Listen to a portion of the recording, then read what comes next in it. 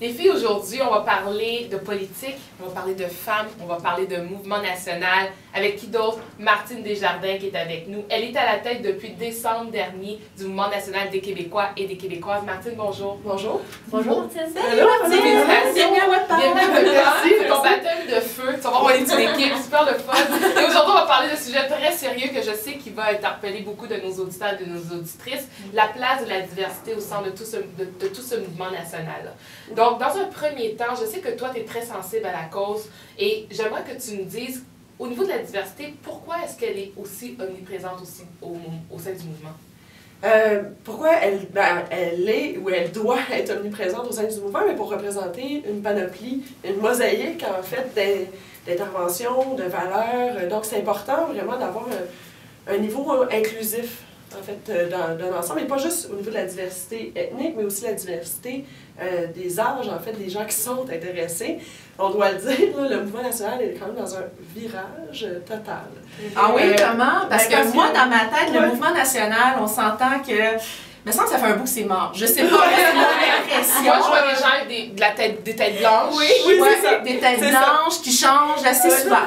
Ouais. Ouais. Non, mais c'est ça. C'est important de faire ce virage-là et c'est justement pour éviter parce que, on doit le dire, moi je suis quand même une présidente qui sort aussi du cadre. Habituellement, la population représentée dans les sociétés nationales, les sociétés Saint-Jean-Baptiste, des hommes, Oui, 55 ans et plus, blancs. Et l'idée, euh, ben, déjà d'avoir une présidente, je suis probablement une des plus jeunes, en 70 ans d'histoire, à occuper ce poste-là.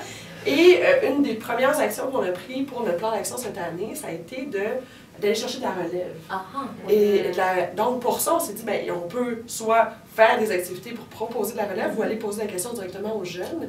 Et donc, on a fait plusieurs interventions. On est allé chercher notamment l'expertise de l'Institut du Nouveau Monde, parce qu'il faut parfois reconnaître qu'on n'a pas nécessairement la capacité nous-mêmes de faire la démarche, de faire le travail. Et donc, on est allé chercher de l'aide avec l'Institut du Nouveau Monde, rencontrer des jeunes, et on a un plan d'action qui, qui est en place pour aller chercher de la relève, aller chercher de la diversité. Pour nous, c'est important.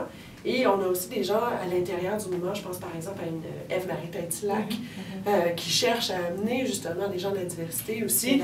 Parce que euh, c'est- c'est pas tout. Je veux dire, moi, je veux bien y aller, mais des fois, on n'a pas le même type de langage, les mêmes intérêts. Donc, euh, je pense que ça prend quand même des gens, des leaders, des têtes dirigeantes pour aller chercher peu plus de Tu sais, monde. Martine, t'as vraiment enlevé les mots que j'avais dans la bouche, justement. Parce qu'on parle de diversité. Et j'en fais partie de la diversité et nous, nous en faisons partie. Mais la question qu'on me pose souvent, moi dans ma communauté euh, latine, c'est qu'est-ce que nous, comme immigrants latinos, et pourquoi pas femmes dans ce cas-ci, euh, allons faire dans un mouvement euh, politique, peu importe lequel. Euh, pourquoi? Parce qu'il faut penser que euh, beaucoup de personnes qui viennent de nos pays d'origine ont peur, n'ont pas confiance non plus Mm. en la politique. L'expérience qu'on vit là-bas est totalement différente. Donc, tu disais qu'il y a des actions qui se font actuellement pour aller les chercher. Oui. Mais moi, je suis curieuse, c'est quoi ces actions-là et où vous allez les chercher?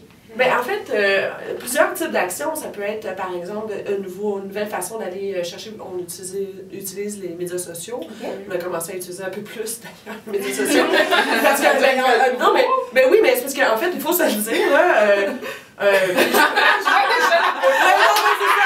je vais pas faire, je vais pas faire de l'agisme, mais, euh, tu sais, parents n'utilisent pas Facebook de la façon que je l'utilise. Donc, euh, c'est ça que c'est une population, mais en même temps, quand on organise, on organise aussi la fête nationale, en fait, au mouvement national, c'est une fête vraiment pour tout le monde, qui est très inclusive, pas partisane, c'est important.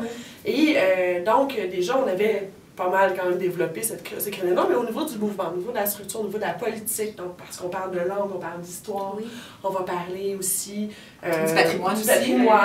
D'ailleurs, on va faire des états généraux sur les commémorations. Puis l'idée, c'est vraiment d'inclure une panoplie de gens pour dire, écoutez, les commémorations au Québec, par exemple, qui peut avoir une commémoration nationale? Comment est-ce que ça doit s'organiser? Et ça, euh, c'est pas l'apanage de, de petits groupes. C'est- Tout le monde peut participer.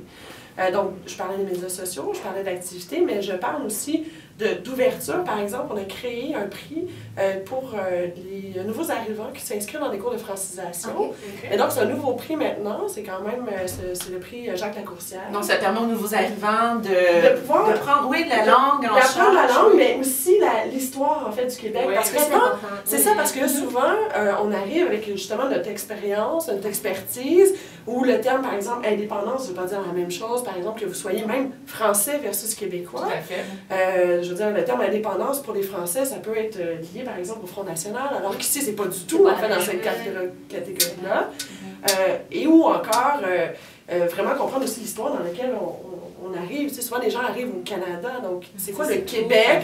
Comme, est-ce qu'on, même certains savent même pas qu'on parle français Mais c'est lorsqu'ils l'anglais. Pour eux autres, c'est l'anglais. C'est l'anglais. J'allais dire pour eux autres. Pour nous autres. Non, c'est ça, donc euh, l'anglais, euh, bon. Et, et donc, euh, déjà de vouloir apprendre le français, mais aussi comprendre l'histoire. Donc, on leur fait lire un texte, c'est quand même très difficile, c'est dans le livre des 10 journées qui ont fait le Québec, la Fondation Lionel Groux. Et c'est un des textes, c'est très compliqué. On a même fait vraiment un lexique et tout ça avec des images. Pour Ça demande un niveau de compréhension aussi. Oui, puis un niveau d'accompagnement, je dirais. Oui. Donc, c'est vraiment d'aller vers des cours de francisation qui est un peu plus adapté et qui permet d'aller toucher à l'histoire et à la culture québécoise.